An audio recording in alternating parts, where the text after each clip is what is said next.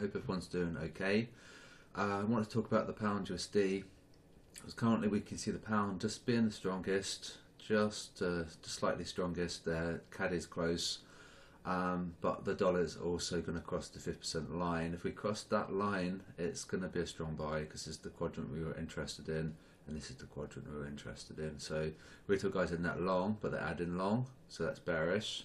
Retail guys are short, they're net short, but they're adding short, so this would be bullish. So the um, the dollar is going to be potentially going to be a buy.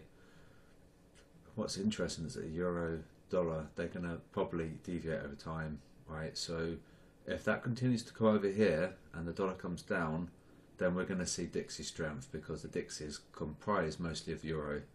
So um, I wouldn't be surprised if we saw some dollar wrecking ball potentially if the euro continues to go this way, uh, and especially if the dollar comes down.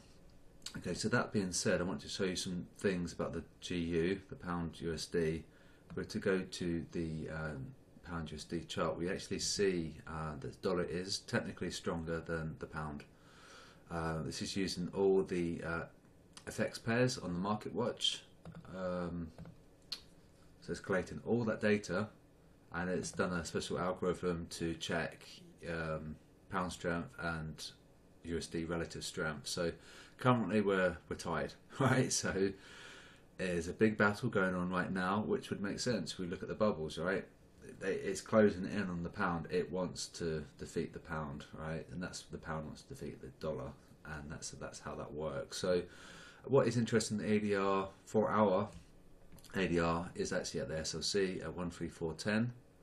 Uh, we're not that far away, and it's larger of the two, and we've got resistance overhead. Okay, and um, once above then we can probably target the SLC but currently you want to keep an eye on 13444 and the SLC above is 13460 so the stop loss clusters are fairly close. And we've got ADR support here. And we've got a long way to the next support. Right so if we do if we do hold below this and the dollar is going to strengthen then you know we can target down here. So it's a long way 13281 so just bear that in mind. I wanted to show you um, some MAs. Um, so this is the uh, uh, what's that 55. Yesterday's um, wick hit it on the nose, and we know that the MAs are they're gonna well they've got um, they're definitely very powerful because you look at your uh, 610 1 2 3 4 5 respects of the 610 so you know that we know that one's good we know these MAs are valid, and that one hit it just dead on, absolutely dead on. So uh, it makes me think that this could potentially be a resistance again. One, three, four, five, six. Um, one, three, four, sixty. So yeah, we're potentially going to come up to that 55 MA, grab that stop loss cluster, and we might see a repeat of what happened yesterday, and then it just like hits that resistance, comes down right? So could be quite tricky. It could be a buy up to the MA, but um, you probably maybe want to get yourself these indicators. Don't forget you check your dashboard and um, the indicators. No story of the starter pack, and your indicators are down there. All right, look for Time FX. Download that zip file, and then you get the indicators. So in that zip indicator folder is this indicator, and it's called um, currency strength Urara, 28 pairs, and so that's that. So uh, it, it just checks the relative strength of 28 pairs and it'll tell you, you know, you, what pair that you're trading. So currently we are seeing some dollar strength over the pound. Um, so potentially what you would might want to do is check your risk. So S&P, um, go to the US 500 if I can find it. Let's see. Uh, so we are very, very dominantly strong. All right, so um, really the pound USD could continue. Um, however, I was going to show you this if I can, if it will allow me to. Um, we've got a monthly range. So what's interesting here, I'll show you this. Alright, so this is the US 500 on the day.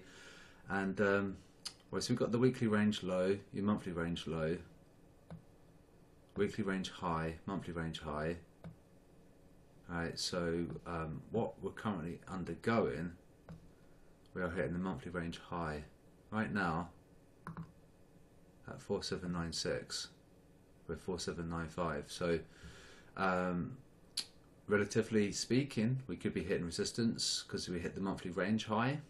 Um, if so, then that's going to, you know, that will help the dollar because the dollar will act as a safe haven and as would the yen as well. So you might want to keep an eye on 4795 and um, MR2 as well, 4814. So some levels of interest. If this falls, then uh, the dollar, um, sorry, the GU will fall as well because the dollar will strengthen, and it looks like it might be giving us like a heads up, uh, potentially.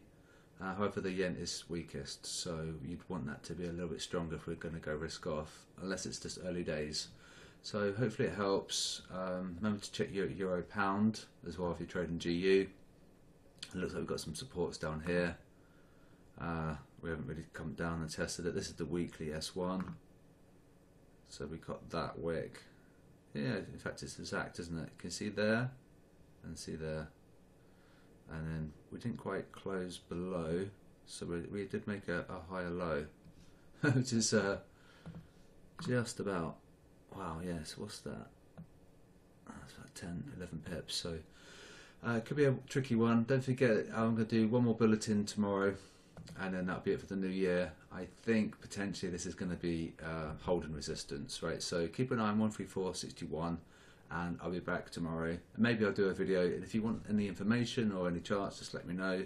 And if not, I'll speak to you soon.